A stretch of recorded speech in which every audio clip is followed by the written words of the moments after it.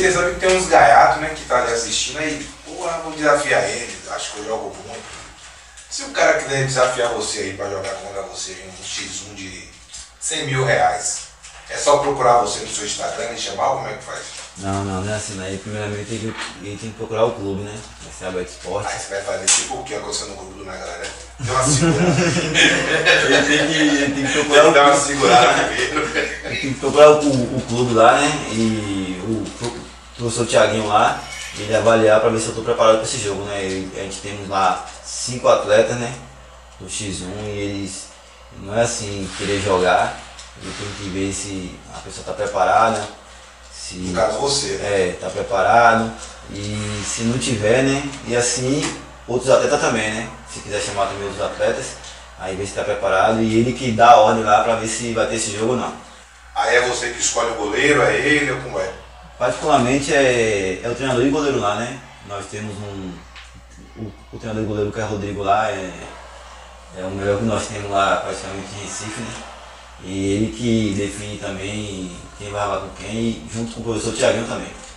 É, falar em Rodrigo, mandar um abraço para Carlos Rodrigo, treinador do Manchester. Fala muito bem de você, não só ele, como Thiago, Alan, Neto. Quer fazer essa galera das barreiras também do, do Manchester. Com certeza, a galera da, das barreiras ali em Bom Madeira, né? A amizade ali que eu tenho ali é, é muito verdadeira, é só amigo de verdade, Rodrigo, Neto, a galera toda aí. Mandar um grande abraço pra vocês aí, meus amigos. E feliz em ser, em ser, em ser amigo de vocês. Se falar de você no e não falar que você é o melhor, meu amigo, tá um perdão. É, isso. Tudo bem, tá vendo, Sérgio? Você falando que, que, que o pessoal não me considera, tá vendo? Tá vendo? Tem uns dois, três Não, ali mas que- tem que gente, considera, tem considera. gente, cara. Vamos falar no grupo, teve até uma pergunta de, de Galvão. Você conhece o Galvão lá Oxe, da Galvão é Bahia? meu parceiro, meu parceiro Galvão. Ele mandou perguntar o seguinte: se tiver uma falta e for na direção da sua cabeça, você protege seu topete ou deixa fazer o gol? Rapaz, se tiver uma goleada, eu não meto a cabeça não. Aí se tiver pressão do gol, eu, eu, eu dou uma Mas se cabeça. tiver 5 a 0, você É, não precisa não, a bola passa, a gente so- sobe mais e mata lá no peito um Isso pouquinho. é distribuindo. É, só distribuindo. Per- Pergunta de Pedro aqui também. Se você deixaria o X1, o X2, o Fut 7 para jogar futebol de campo? É, eu vou falar aqui uma coisa que eu não falei ainda pra, pra ninguém, né? Eu, particularmente, Ó, exclusividade. Exclusividade aqui do, do, na Galera TV, né? Eu recebi uma proposta aí de, é, do Christian Bell, né? Pra ir pro Botafogo aqui. É, ele, ele me ligou pessoalmente, o Christian Bell. Aí queria eu aqui no Botafogo, que falou que muitas portas iam se abrir pra mim. E eu pensei bem, né? É, pensei assim, uns 10 dias assim, é, ficou ainda meio atribulado na minha mente de querer isso e aquilo. É, tenho ele hoje como é, é, um amigo meu, é, no Príncipe ele me deu um total apoio, né? Apostou em mim quando, quando ninguém acreditou praticamente, né? Lá na live de, de Ney Silva, né? Apostou, falou que se, se eu ganhasse para Jonatas, que era é, um atleta é, renomado né, da, da modalidade, eu tinha mil reais na hora que ele me mandar e graças a Deus deu certo, eu ganhei e ele mandou mil reais.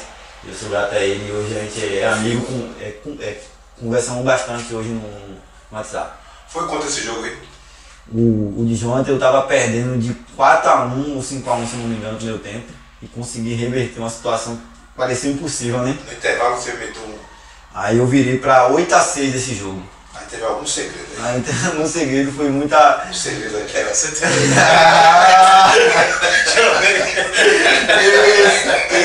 Não é possível não, meu. Ei, já isso é, tomou 5x1, velho. 5x1 eu pude reverter esse placar. E o Christian apostou em você tomando 5x1 ou já foi antes do 5x1? Ele apostou ainda em mim, acre- acreditou em mim ainda, é, é, com esse placar ainda. Vamos Aí, 5 a 1? 5 a 1 e eu pude reverter esse placar e ele.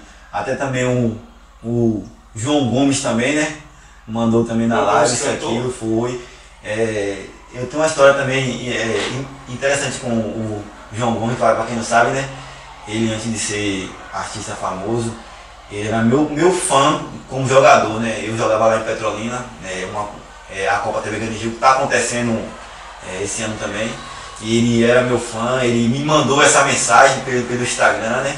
Hoje Falou continua, que- né? É, aí eu conversei com ele, aí falo com ele pelo Instagram, ele sempre conversa comigo.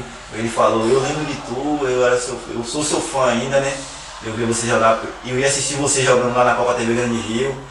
E eu fiquei é, é, sem palavras com isso, né? É ele mete uma música pra É. ele. Sem palavras com isso, né? Aí converso com ele aqui pelo Instagram e ele sempre responde. Aí. Ednei, você. Essa live aí dá muita resenha de dinheiro, os caras parecem que são tudo milionários quando tá conversando na live. Esse dinheiro chega na conta, né? Quando que os caras falam.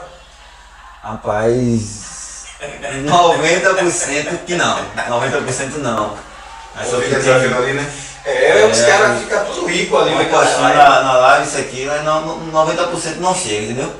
Esse dinheiro, mas tem alguns que, que, tem a cabeça boa que chega e fala, não, você ganhou o jogo, eu vou dar um, um, um dinheiro a você que eu apostei aqui, isso aqui. Eu, Teve algum, Obrigado, dinheiro, né? teve algum dinheiro alto que o cara falou que ia botar e botou mesmo?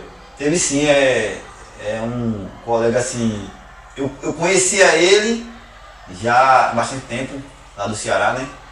E ele veio assistir essa competição do Príncipe do X1, né? É, bem contra a Jonta, né?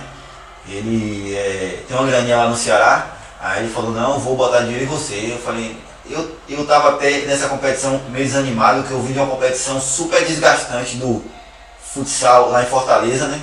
Foi uma Copa, Bra- eh, Copa do Brasil, se eu não me engano, lá em Fortaleza. Eu joguei uma semana seguida e na, eh, no outro dia já tinha essa competição do Príncipe do X1. Eu tava até meio desmotivado isso aquilo. Aí eu falei, rapaz, eu tô meio cansado disso aqui, não, não aposto não, mas não, vou botar em você isso tá aqui. cansado. E, e ele apostou na hora, se eu, não- se eu não me engano, apostou 10 a, a 20 mil reais em mim. Na hora ali, num- num- na competição ali. Aí eu- ele me deu mais ou menos uns 3.500 reais assim em dinheiro. Assim, pra mim. Assim que acabou o jogo, ele me deu em dinheiro. Segure aí, vai, receba! receba! Aí você, você cansado, venha. Venha, botei aqui na. na eu, botei aí, pô, é, aqui na, na, na camisa aqui, que não cabia no bolso, botei aqui na camisa e pronto, já era. Essa competição, o corpo influencia muito, né, ser demais, né? O corpo é o principal, né? Mas também é, é um dos principais, mas também a mente, né? É o que faz também o corpo funcionar. Né? Você dorme Porque- quantas horas por dia? Assim, eu tenho um probleminha de dormir ainda, por conta que eu tenho minha mãe e meu pai falecida, desde que ele faleceu, eu, eu, eu fiquei é, com esse problema de, de insônia, já fiz tratamento, mas eu não consegui é, ainda dormir cedo, né? Mas é, o certo é para dormir um, um jogador de X1, né? O certo é para dormir entre 8 a 10 horas por dia. Quando não estiver jogando, tem que estar dormindo. Que tem que estar dormindo. mano. É, é até interessante quando, quando a gente treina lá na Recife, né? É, o treino é, é, é pela manhã, né? É o treino do X1. Aí quando eu chego de tarde, mano, é só dormir mesmo, dorme à noite, acorda pra treinar de novo e a vida é essa, né? A gente que, que tem esse esporte, a gente tem que se sacrificar. Você, no caso, é atleta do SA Bet Sports. Isso. Se eles quiserem que jogue X1, tem que ir, X2 também e Fut 7. Fut 7. Você treina Fut 7 também? É, hoje em dia mais não, agora mais não. Eu estou mais no X1. Hoje em dia, é, fui, é, como eu falei, fui para essa competição do, Maceió aí pra, é, praticamente sem treinar, só fiz um treino com, com, com a equipe de futsal, né? Mas hoje em dia eu estou só treinando no X1.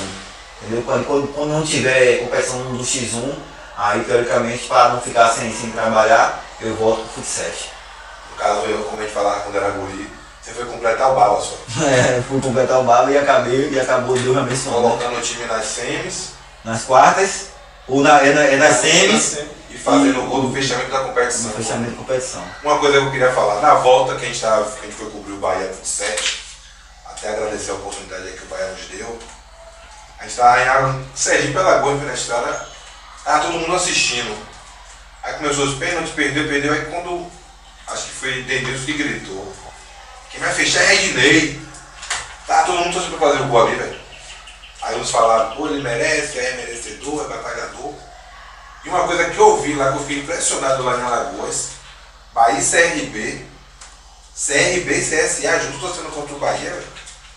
É, isso é de, é de assim, né? De, Eu não sei explicar né, essa situação, porque isso aqui eu acho que em Salvador nunca aconteceria, Nunca né? aconteceu. Sim, Sérgio? No caso, no ônibus aconteceu de todo mundo ali torcer por você, porque ali todo mundo é baiano, É baiano, conhece. isso, isso, isso. Mas E foi aquela vibração ali. 1% ali da sua batida foi por causa da gente no bolso, tá ligado? Com certeza, com certeza. Pensamento positivo sempre é- ajuda bastante, né? É como eu falo, né? As palavras têm poder, né? Por que, que você não cavou pra igual o Benzema? Ah, meu Maria, aí ia matar o presidente lá, e no coração ia matar todo mundo, hein? Aí, Ednei, já que você está falando aí de X1, mas que você também atua futset. Tá vendo a, a convocação agora? Se seu nome estiver na lista, você faz como? Assim, né? é, tem muito, eu acho particularmente tem muitos atletas na minha frente, né? Como assim, é, sendo realista, né? Quem tem que ser realista sempre, é muito atleta na minha frente.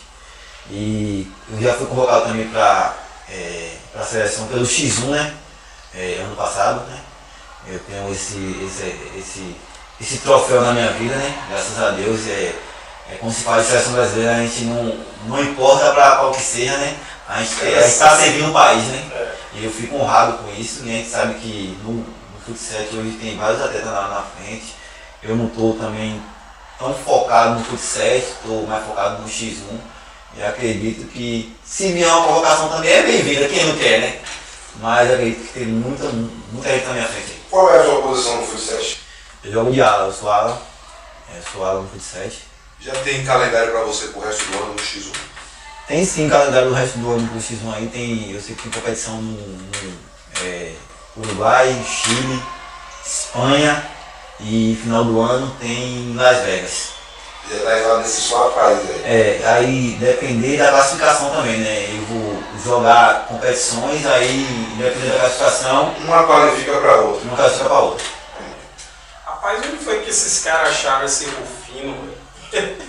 Rapaz, eu tava olhando assim, eu falei, pô, eu acho que eu já vi de tudo. Já vi jogador craque, já vi mas aquele bicho ali, É um absurdo. ele, é- ele joga Que time é? do. Do SA, do SA. Bet. Eu, eu particularmente tenho um filho como assim, um amigo e irmão, mesmo conhecendo agora ele, né? A gente tem uma história muito assim. Quando a gente vai pro treino, o Braulio que, que leva a gente, né? Queria mandar também um grande abraço pra Braulio, Noronha de Moraes, né? A É. fera! Resenha de Moraes, a fera. E todo mundo aí é, de Recife também, um grande abraço pra toda a dessa esporte atleta diretoria, como já falei, eu, tenho que mandar pra, pra diretoria duas vezes, né? Aqui.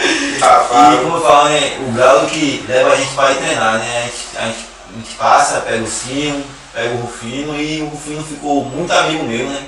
A gente conversa, ele sempre fala comigo, a gente ficou uma amizade, parece que a gente, que a gente se conhecia já há bastante tempo, entendeu? E de jogador a gente sabe que é um absurdo o que o Rufino fala, e eu sei como, como se falou de seleção brasileira aí, né?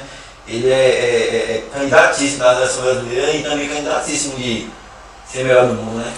Foi o melhor da competição agora em Maceió e o que ele joga não é, não é brincadeira não. Um grande- abraço aí, amigo, Rufino e Samurai. Samurai pela Bahia e Rufino foram os dois que mais me chamaram a atenção. Você eu já conhecia, já sei como é que. W12 que não conta, né? É, de goleiro eu não vou nem mais goleiro, velho. Foi uma coisa que acho que a Ah, competição, positivo, né? a competição revelou muitos e muitos goleiros, até time que não são tão, tão bons assim, os goleiros se destacaram nesse, nesse torneio. Agora esse goleiro do Bahia também, ele é fantástico, velho. Ele, W12 é muito bom goleiro. ele, pô, velho, ele impressionou todo mundo que, que- todo mundo que assistiu o jogo do Bahia lá ficou impressionado com ele. Ele sabe jogar com o pé, é bom goleiro, né, Você velho? fez? Teve Eu jogo que ele né? foi melhor em campo Na jogando na casinha, na linha. casinha, né? Ele foi melhor em campo jogando na linha, pensei. A gente ficou lá na, na concentração do Bahia, você tinha que ver ele todo quieto. É, eu assim, é, W12 eu já conheço, já, já joguei vários extras com ele na, lá, ele, ele mora na cidade lá de Retirolândia, então todo mundo me, é, é, tem um, carinho imenso pela galera lá, todo mundo me conhece, já joguei lá, ele já, já jogou junto, já jogou contra, Você pode traduzir o que? Esses vários extras? vários extras, é, é competições que Vários, joga, vários beats. Vários picks, vários extras. É, é competições que você joga uma competição em um lugar, uma competição em outro, um, é, vai para um lugar, vai para um outro, aí ganha um extrazinho, entendeu? O que ele fez lá, ele saiu de lá sexta de noite, não foi? Saiu de lá sexta-noite, Lá é Alagoas que a gente tá falando. né? aí pegou o busão, veio pra Salvador, de Salvador pegou o carro dele pra ir pra.